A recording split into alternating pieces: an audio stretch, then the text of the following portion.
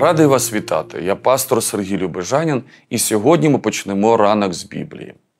Слухаючи істини і Слово Божого, ви отримаєте віру, яка наповнить ваш день присутністю Божою.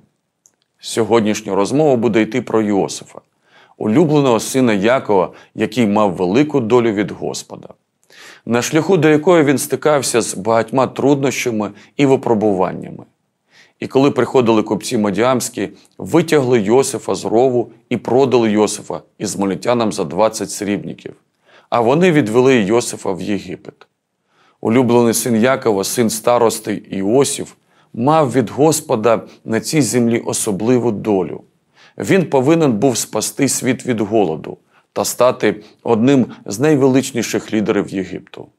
Батько дуже сильно любив його, він відчував, що Йосиф має велике призначення на цій землі.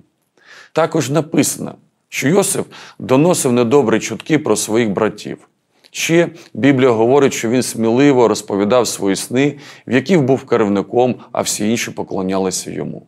За все це брати ненавиділи його. Це відчуття ревності та заздрість привели до того, що вони хотіли спочатку вбити Йосифа, але потім продали його рабство за 20 срібників.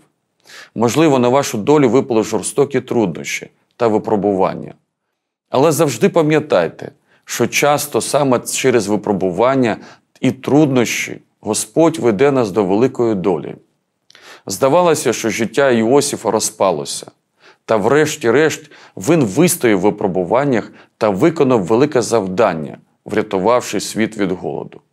Нехай наша віра не згасає, навіть якщо ви зараз проходите якісь труднощі. Пам'ятайте, що наш Господь може взяти труднощі та перетворити їх на частину його великого плану для вашого життя.